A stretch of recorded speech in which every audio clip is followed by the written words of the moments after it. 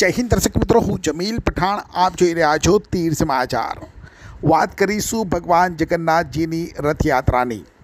જી હા, આજે અષાઢી બીજના રોજ છોટાઉદેપુર નગરમાં ભગવાન જગન્નાથજીની ભવ્ય રથયાત્રા ભક્તિભાવ અને હર્ષોલ્લાસ સાથે નીકળી હતી. અને આ વખતે ભગવાન જગન્નાથના રથને ખેંચવાનું સૌભાગ્ય પ્રાપ્ત થયું છોટાઉદેપુરના નવા ચૂંટાયેલા સાંસદ જસુભાઈ રાઠવાને. આમ તો ભગવાનના દર્શન કરવા હોય તો આપણે મંદિરે જતા હોઈએ છીએ, પરંતુ અષાઢી બીજના દિવસે ખુદ ભગવાન નગરચર્યાએ નીકળે છે અને ભાવિક ભક્તોને પોતાના આંગણે દર્શનનો લાભો મળે છે. અને આજે આ લાભો લીધો છે છોટાઉદેપુરના હજારો દર્શનાર્થીઓએ.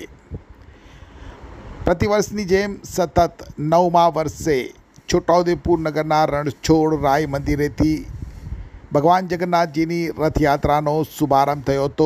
હાર્દિક સોનીના પરિવાર દ્વારા ભગવાનને ફુલાર કરવામાં આવ્યા. તો જગન્નાથજીની મૂર્તિને રથમાં બિરાજમાન કરવાનું સૌભાગ્ય નિમેશ ઠક્કરના પરિવારને પ્રાપ્ત થયું જ્યારે ભગવાનના રથને ખેંચી રથયાત્રાનું પ્રસ્થાન કરાવવાનું સૌભાગ્ય સાંસદ જસુભાઈ રાઠવા અને તેમના પરિવારને પ્રાપ્ત થયો હતો. રણછોડ રાય મંદિરેથી નીકળેલી યાત્રા નગરના મુખ્ય માર્ગો ઉપર ફરી અને નીચ મંદિરે પરત ફરી હતી. યાત્રામાં ભગવાન જગન્નાથજીના રથની સાથે અન્ય અનેક ભગીરથ જોડાયા હતા. યાત્રામાં જસુભાઈ રાઠવા, તેમનો પરિવાર સાથે સંગ્રામ રાઠવા સહિત ભાજપના હોદ્દેદારો પણ જોડાયા હતા. ત્યારે આવો જોઈએ રથયાત્રાની એક ઝલક.